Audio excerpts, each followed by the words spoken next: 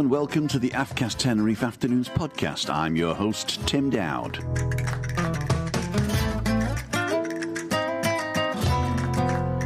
Today's episode, we have an interview with business owner and marketing manager Lynda Goldie, who was given a sign and decided to pick up sticks and move to Tenerife in record time, but arrived two days before the lockdown. Plus, the latest on COVID 19 and the new normal, and the weather aftcast for last week. This week also sees a new segment from Christina called SSDD. Enjoy the show and don't forget to subscribe.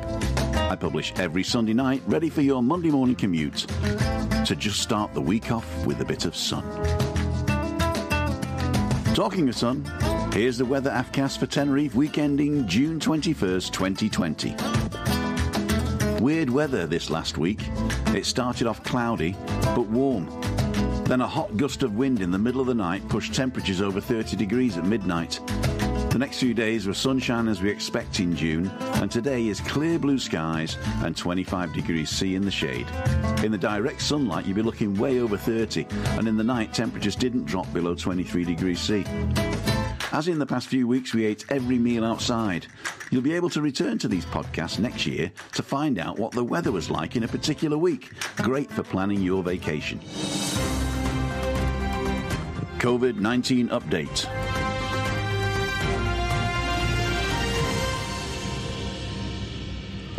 We've now dropped below 75 active cases in the whole of the Canary Islands. Tenerife has 21 active cases, with only one new one in the past week, declared in the north, but the person is registered in the south. So, except for the one new case in San Miguel de Abona, Tenerife Sur has been mostly COVID free for three weeks in Arona and over a month in the other southwestern municipalities. We've just entered the new normal opening up the borders to EU Schengen countries plus a few others, including the UK. And except for Portugal, because there'll be a celebratory reopening of the Portuguese Spanish border on July the 1st, attended by the King and political leaders of both countries. Because of the quarantine requirement in the UK, holidaymakers are not really the target.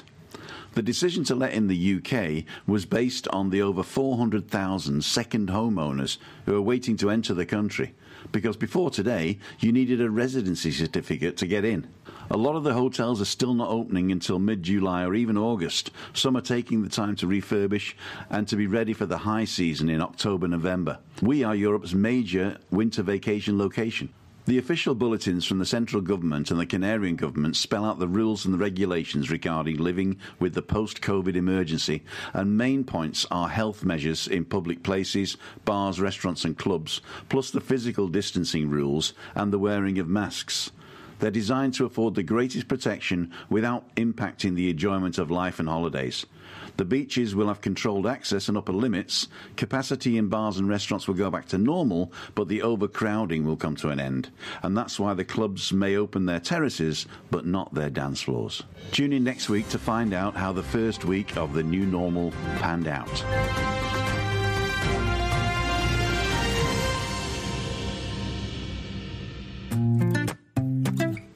Now we're going to jump over to a new segment where Christina is going to have a little chat.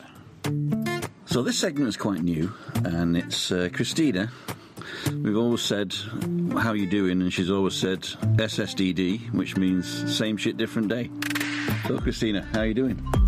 SSDD. but in a way, this SSDD sounds a bit negative. It's actually quite positive because it could be MSDD, which doesn't mean multiple sclerosis different day, but it means wash it different day. Okay, so it's positive because it's not changing that qu- that quickly. Right? Uh, okay, that's Yeah, today we overslept a little bit. A little, yeah, a lot, I mean. And then our daughter and our granddaughter talk, uh, called on FaceTime. And that's quite a nice beginning of the day to see this little cutie. how old is she now? Eight and a half months. Oh wow! Time flies when you're having fun. Yeah. unfortunately, we can't have fun with her because she's in Germany and we are here. But we've got the better weather. That's true. So, what did you do last week? It's basically the same every day. I get up, do my ablutions, get dressed, have breakfast, then I lie in my chair a bit and listen to my book. And I go on my bike. Do you go far on your bike? Oh, yeah. Every day a bit further.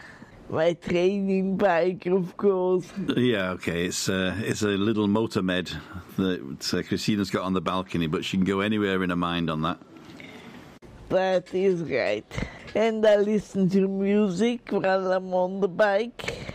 I really don't want to go out because it's a lot of hassle and I can't see much anyway, so might as well stay in. But we went to Alcalá last uh, last week. You enjoyed that, though, didn't you? Yeah, I did. I always do because I've got this red line where I can drive and I can't lose my way. Okay, so it's because they've got this uh, red brick road, this sort of uh, Yeah, this path that you can follow. Yeah. Because although people think you can see a lot, you don't really see much, do you? No, not at all. So, what are the types of things that you that you see? I mean, if you can explain to people how you see, it's it's not that you're blind and it's all black, is it? No, it's not. I can't see faces, not at all. But you can see outlines of people, right? Yeah, So you know how wide I am. yeah. I know that. But in a way, it's good because every person looks good to me. Thanks. I think. Yeah, you do, you look good too. What else do you want to tell our listeners? Cut. That's it. I want to thank people who sponsored us because that helped a lot. For those that added extras and getting out and doing the stuff, then we'd just like to thank everybody that has sponsored us, bought us a coffee or even more, and uh, we really do appreciate that. So, Christina, it looks like you're drying up. So, this SSDD segment, we'll ask you again next week whether anything changed. And uh, until then, thanks very much. I hope it stays SSDD and not MSDD. Me too. Me too. Well, I hope you enjoyed that. Please leave a comment for Christina, and I'll make sure I read them to her. The interview today is a short story of a miracle which enticed a family from Scotland to Tenerife in no time flat. And that's up next. But first, Thanks to all our sponsors, and especially Lynn, James, Vincent, and Timmy for your support. You can join them by buying us a coffee at our website, www.timothydowd.com, and pressing the sponsor button. If you want me to review a cafe, bar, or restaurant, you can also sponsor the visit. Better still, come over in person when it's safe and be part of the show. Without further delay and through the power of the internet, I'll whisk you all back in time to last Friday and my third in person interview. Enjoy. So, ladies and gentlemen, I'm sat outside the Globe pub in Costa del Silencio. And I'm here with Lynda Goldie, and together with Jim, they have Goldie Joinery here in Tenerife. And welcome. Thank you. I appreciate the, interview. Thank you very much. You're very welcome. Okay, I've got a few questions for you. You can answer them any way you like. So, what made you move to Tenerife, and what were you doing before you got here? Well, basically, we have been coming here for years and years and years, um, and we were expecting to come here, retire over here, probably in two years' time. But you know, it just completely went on its head, rocketed, and I'm here now. But there's a long story to get there, to be honest with you. Um, I mean, my husband and I, we're born again Christians, okay? And, you know, God just made it happen. You know, they, they talk about miracles happening, they talk about doors opening. If the door's going to shut, it completely shut, there'll be another door open. But every door opened, and within the matter of five weeks, we had basically not sold up because my house is rented up uh, back home, but basically we were here. So the plan was to come over in a couple of years, Yes. but then just things snowballed and you arrived. Mm-hmm. Yeah, And that was just before the lockdown, I believe. I arrived on the 13th of March with my cat. My cat was the last cat on the two-way flight,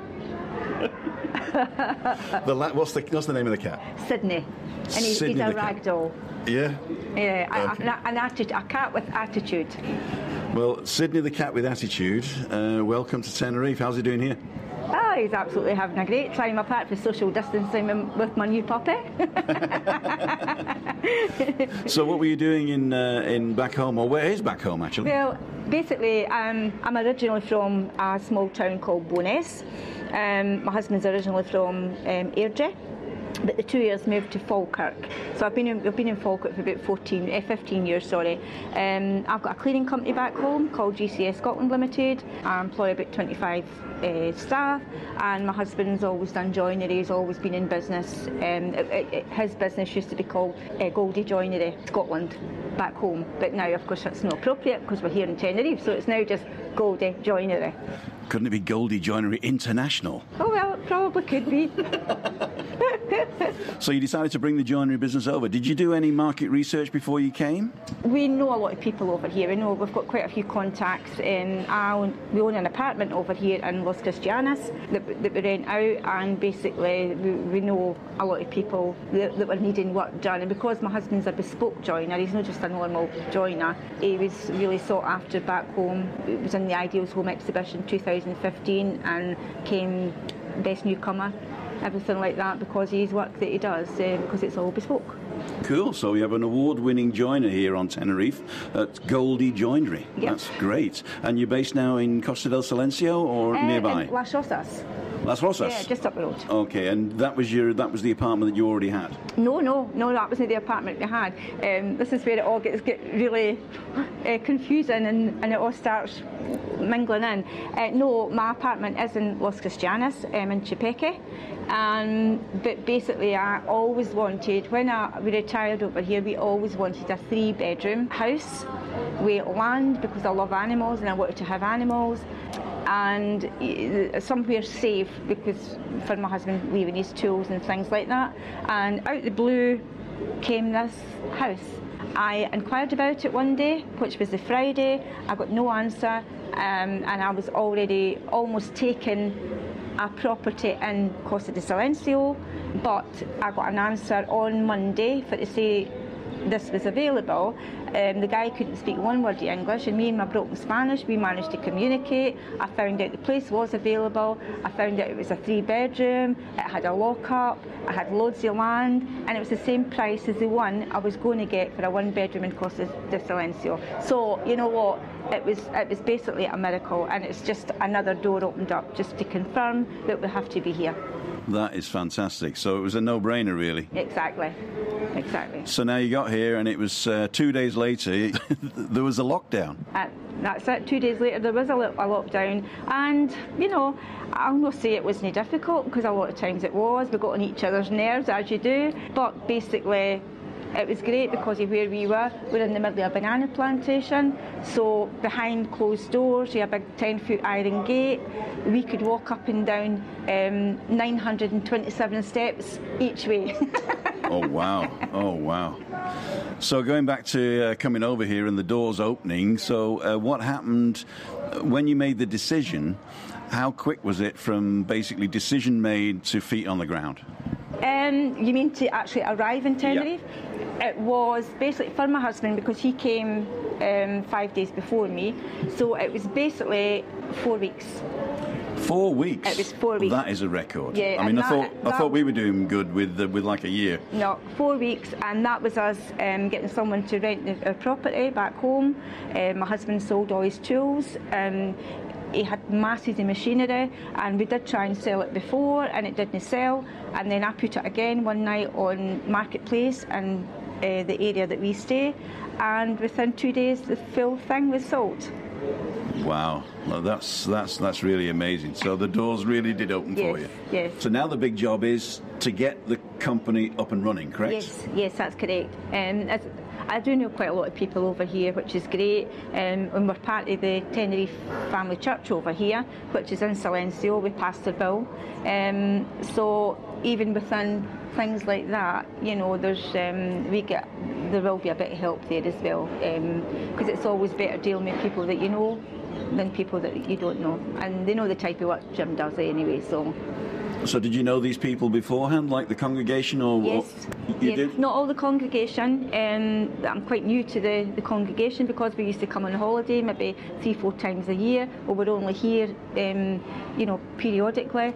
Um, it's only now that we're getting to know everybody, which is great. But we did know um, Pastor Bill, who who also does um, a radio. Yeah, well, basically you can hear it on the Expat 2 radio at 10 a.m. every Sunday morning. He's got this new slot um, that he does every Sunday, and it's absolutely brilliant. So let's assume the business is up and running, and you're. Uh you're fully fledged here on Tenerife. What are your future plans? Um, basically, when, when, I knew that when Jim was coming over, he would work um, with the joinery business, with, with, with bespoke joinery. Um, for me, to be honest with you, I haven't got a Scooby, but I just I know I'm here for a reason. I don't know what the reason is yet, but I'm sure God will reveal it to me. Um, I love animals. I would love to work voluntarily with animals. Um, I do have a new puppy. Um, which is taking up quite a lot of my time. Um, but to be honest with you, I don't know. I've got to support my husband and what he does. I do sales and marketing, so that's what, what I'm good at. Um, yeah, that's it. So I don't know what I'm going to do. Okay, so you're up in the air. You're going to just wait to see what which door opens next, maybe. Absolutely. And if there's anybody out there that wants or has anything to do with animals and they're looking for a volunteer on a short-term basis, yeah. then get in touch and I'll uh, pass on your details. Yeah, great. Thank you. Thank you. So, a very quick interview today, but I'm sure that we're going to hear more of you. And if anybody wants to know um, how to get in touch with you or where to see any work that uh, the Jim's done, where can they go? Well, they basically can go onto the Facebook. I've made up a Facebook page called uh, Goldie Joinery, um, and it's just got the Goldie Joinery logo. Um, and Jim's van's been all sign righted as well, so you would see that on the on the page. Um, and that's basically it. A lot of his previous work I've put on. Um, he's only done one job so far, which um, you know has is um, it's quite a small job, but you know every job counts. And the guy was really pleased. He put a nice review up. Um, but some of the work that he has done, the bespoke stuff that he's done, like kitchens, um, uh, children's beds, um, animal beds, he made, makes dog beds. That's a lot of them are on the, the page. So if you do want to um, see it, all the information's there, the telephone numbers there, the the um, the actual email address, everything like that's there as well. So yeah. Okay, so if you're not on Facebook, just contact me at timothydowd.com and I'll make sure that you get all the information you need. Anyway, so thank you very very much, Lynda, for joining me today outside the Globe Pub. And My local. Uh, that's the local. Yeah. Oh, okay, okay. So the Globe Pub in Costa del Silencio, and we'll see you on the next one. Thank you very much. Thank you very much for interviewing me. I really appreciate that. Cheers. Thanks, Tim. Bye bye. Bye bye. Vamos a la playa.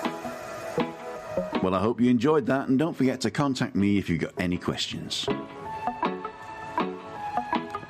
Thanks for tuning in. I publish every Sunday night, so subscribe to be notified. We have a Facebook page called Living with MS in Tenerife and can be reached by searching for at LWMST. Plus, we have a YouTube channel at youtube.com slash LWMST with new videos every Tuesday and a website at www.timothydowd.com where you can send me an email or sponsor the show. Until next week, stay safe and goodbye.